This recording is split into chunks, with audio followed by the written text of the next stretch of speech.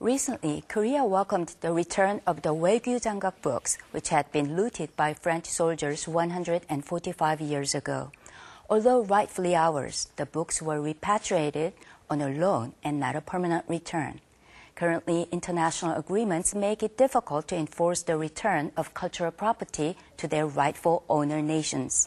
In light of this, how should we go about retrieving our valuable cultural property, which remains stranded in various locations around the world? Join our experts as they discuss this question in this week's episode of In Focus. After 145 years in exile, the first batch of the Waegyu Jangak books finally returned home safely on April 14th. Out of the 297 volumes being returned, 294 volumes are of the Uigwe, illustrated records of the Joseon Dynasty Court Protocol. These books used to be stored in the Waegyu Jangak Royal Library in Ganghwa Island until they were looted by the French army during their invasion in 1866. The return after 145 years is the end result of a 17 year long negotiation process. The Waegyu Jangak books mark a rare victory in international efforts for the return of cultural property. However, many more treasures of Korean heritage are still waiting to be reclaimed. Only 8,000 of Korea's stolen cultural property have been returned so far, while 140,000 still remain scattered abroad. How should Korea negotiate their return? Join us as we discuss Korea's policy of cultural property retrieval in today's program.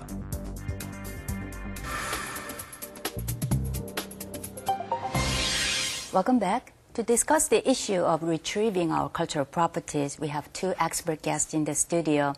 Sitting on my right is Professor Jae Kyung Lee of the School of Law at Konkuk University. Welcome to the program. Nice to meet you. Um, sitting on my left is Ms. Hyun Suk Lim. Uh, you're the senior researcher at VANK, which is the Voluntary Agency Network of Korea. Yes. Welcome to the program and thank you for joining us. Yeah. Uh, let's start um, talking about uh, those books returned to Korea this Yes. time by France. Um, what kind of books are they and how valuable are they? Um, before I talk about these books, I'd like to talk about Waegyu Jangak. Waegyu Jangak was uh, one of royal libraries during the Joseon Dynasty. Uh, most books were kept at this library or Uigwe. Uigwe is a collection of lawyer protocols and it contains procedures and details of protocols uh, such as uh, lawyer lawyer weddings, funerals, and receiving the foreign missions from other countries.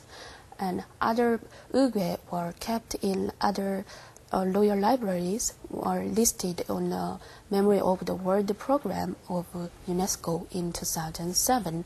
It means that these books are very valuable Korean documentary heritages. And uh, the books were returned to Korea were uh, looted by French army in 1866 during the invasion of France. The, some of these books were looted and other books uh, were burned. Um, but in 1970s, the one Korean scholar, Dr. Byung-sun Park, discovered these books from the National Library of France. And after her discovery, the Koreans and the government have tried to retrieve these books from France, and finally, 75 books were returned to Korea in last April 14. Oh, I see. So it sounds like very uh, important books. Yes. Um, um, and I think it's, in a way, it's very fortunate that uh, they were not burned. Yeah. Uh, and uh, now we have the chance to uh, actually uh, look at those books. So uh, I understand that we've had the first delivery of uh, several Yes. um, this time. Now, once they are here, where are they going to be stored? Uh, these books will be screened and secured in the National Museum of Korea. The museum has the storage, the 20, 21 storages in their basement. So the, these, one of these storages will be uh, the storage for these books. Um, Professor Lee, according to a study conducted by South Korean government, there are over 140,000 cultural property uh, scattered all around the world, in, in a way stranded overseas. Uh, could you tell us more about the statistics, the current state, and the history of how they got there? Why yeah. are they there? Yes, uh, we have many uh, stolen and uh, illegal exported, exported uh, of our own cultural property in overseas. according to the governmental research, uh, we have um, uh, over uh, 60,000 property, cultural property in Japan and 20,000 in U.S. and also we have 3,000 in in China and 3,000 in the U.K. and 2,000 in Russia and in, in France we have uh, 2,000 over 2,000 cultural property of our own uh, stranded and, and many other nations. That's very uh, that's um, the official number. So um, unofficially, there are more uh, stolen and exported illegal, illegally exported cultural property of our own overseas. So uh, they uh, most of uh, the cultural property stranded overseas has been um, extracted away uh, during the war and sometimes by uh, the illegal uh, the transaction between the, the, the private uh, persons. So uh, we should uh, uh, set a, the official research about the many more cultural property overseas from now on. I see. So those numbers are only for the cultural property items stolen or illegally or forcefully taken from Korea. Right. And the number is huge. Yeah, very and huge. given that we've had one century of very tumultuous history, mm-hmm. colonialism, mm-hmm. and the experience of war, mm-hmm. it's not very surprising. So how many of those stolen properties have we taken back and through what kind of process have was that mm, possible? Yeah, uh, in, in 1965, uh, we have uh, Uh, the treaty between uh, Korea and, and Japan uh, to uh, take back most of our uh, cultural property, which is stranded in, in Japan. And also we try to negotiate the, the, the, return of our cultural property with France as well. Like, so it's been like 30 years since we tried to uh, take back most of our cultural property stranded in overseas. Yeah, but uh, and and last year uh, we have a a G20 summit uh, in in Korea in Seoul, and uh, the, the France uh, they uh, we and France signed the contract to the lease the, the the cultural property of our own, and also the Japan they will they to sign the contract to uh, return the, the mm-hmm. property of uh, our own. Mm, so we are expecting the more uh, the returning of our cultural property uh, coming years. So it's it's not an easy process or uh, anything that we can expect to have all these properties back in short amount of time. Mm-hmm. And uh, this time it uh, had to go through a very lengthy negotiation. Um, well, um, so, do we have them back uh, in large numbers so far, or are they just small fraction? Very of, small. Very small fraction yeah, right, of the stolen right. items. Yeah. I see. Um, Ms. Lim, um, is there any international consensus or trend in uh, the repatriation of cultural properties? I'm sure that not only Korea, but yes, other yes. countries are yeah. interested in this, and some countries have them, and some countries want them back. Yes. And given the you know long history of colonialism and yeah. war, um, I imagine there is some kind of consensus forming. Um, yeah. Is there any? The, the movement of uh, uh, retrieving the, the looted cultural properties are increasingly massive uh, in international society, especially the Egypt and the Peru and uh, and other countries also are trying to retrieving their cultural properties from France, USA, and UK. So, for example, the U- Yale University in USA uh, returned about 46,000 relics to Peru, and the Egypt uh, re- received the 30, 31,000 cultural relics from other countries so far. So the more countries are trying to retrieving their cultural properties, and the I heard that the the heads of these countries who want to want to retrieve their cultural properties had a summit in last year. So uh, there will be more um, there will be more global movement. I'm sure that there are many complicated issues. So international consensus, I, I, guess, is very important in yes. this context. Professor Lee, is there any trend or consensus that you can talk about from the the legal point of view. Right. Uh, even though uh, there are many uh, more uh, negotiations going on on a nation-to-nation basis, but uh, the mainstream about the returning the cultural property is about the, uh, the national treaty between many countries. So it will be very helpful if we can get more countries enter into the, the, the national agreement, like the France and Japan. But most of uh, the developed countries like U.S., Japan, and France, they uh, try to not to get into the uh, the, uh, the, national international uh, treaty because they don't they are not happy about the terms of uh, international treaty. So we should be watching if they can get into the agreement internationally. The return this time, the return of the Waegyu Jangak books was, uh, I think, a great achievement by Korean government. Definitely. Uh, and it's the, the outcome of a lengthy discussion mm-hmm. and diplomatic mm-hmm. efforts. Mm-hmm. But I hear that some people are not very happy about the conditions of the return. Uh, could you tell us more about it? Okay, as we see, uh, the the return of uh, cultural property in France it is not a, a the permanent transfer of ownership is a five-year lease. So we have to renew the, uh, the, uh, the, lease contract every five years. Mm-hmm. So maybe it's very uh, discouraging news to many uh, Korean people.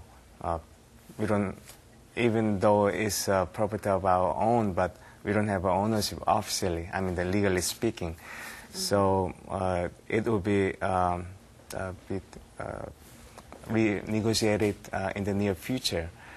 But at least uh, we uh, have the luxury of enjoying the, the, our own cultural property in our own land. So that would be a very uh, big achievement for us.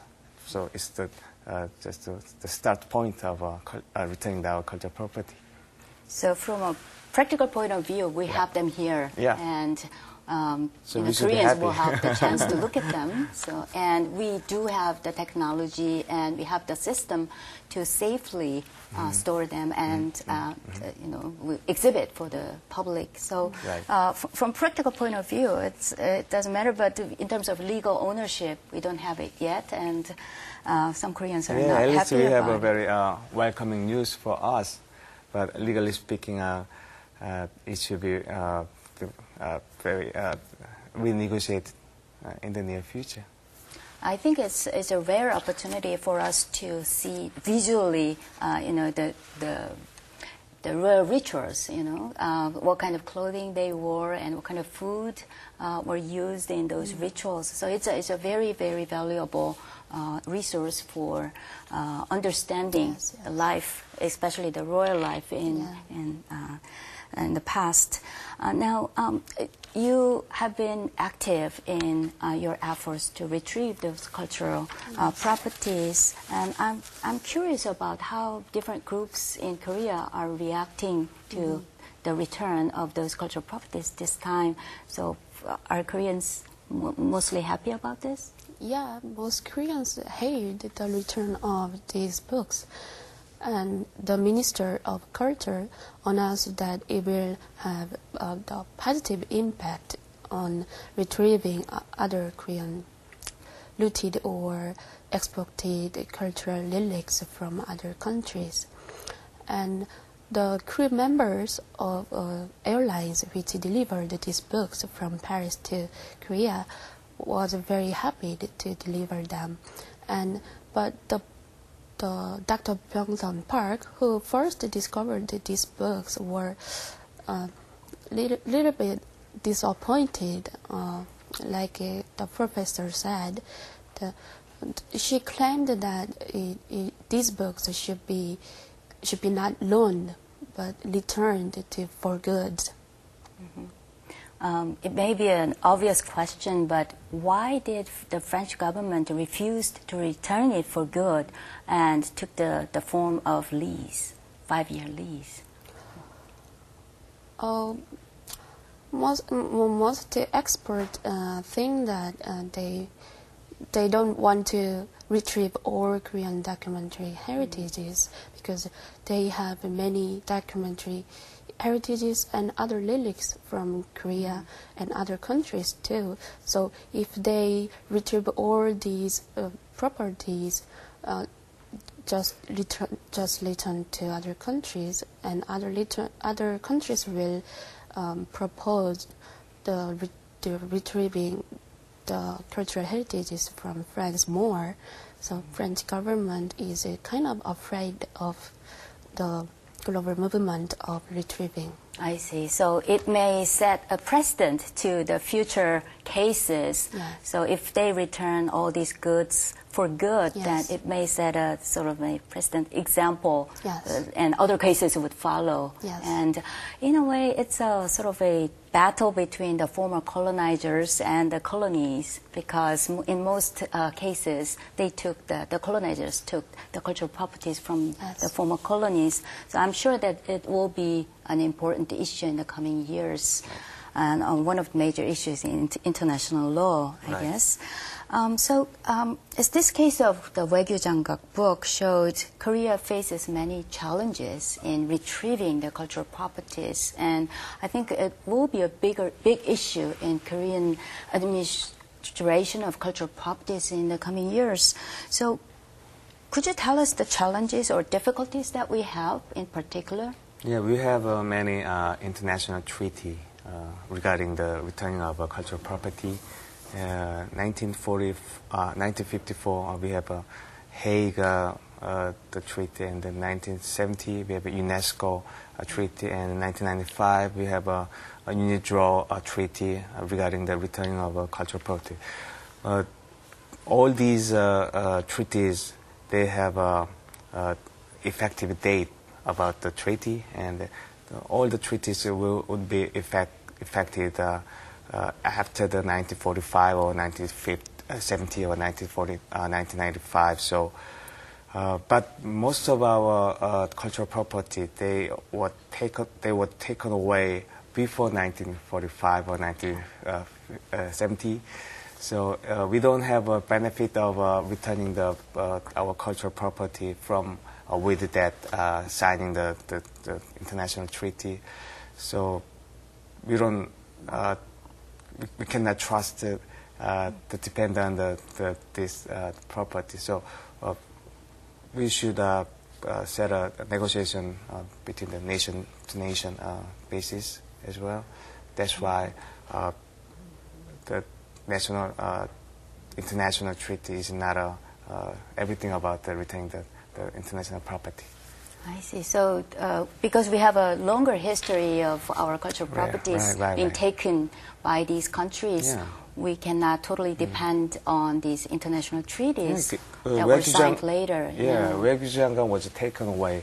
Uh, the way back, like uh, in the 19th century, 19th not, century, in, not even in 20th century. Very long. So yeah. that makes it a lot more difficult. Right, right. And I, I hear that in this case of the French repatriation of those books to Korea, um, I hear that they uh, sort of um, talked with the French intellectuals and they uh, got the sympathy from those French intellectuals who became the supporters yeah. of this repatriation. So uh, that's why it took so long that's for us true. to repatriate all that's those true. items. Right. Um, but such difficulties notwithstanding, haven't there been cases of successful return? Yeah, uh, in, internationally. Yeah, in uh, recently in Italy we have a very um, uh, encouraging the case about the returning the, the cultural property. So the Italian the government they set a negotiation with many uh, uh, the mu museums in the U.S., mm -hmm. like uh, the, the, Getty Museum and the Metropolitan Museum, and they they said started the negotiation since 2006, and it's been like three years of um, negotiating the the terms of uh, returning the cultural property. And they uh, returned many of uh, their stolen property which is stranded, which was stranded in the U.S.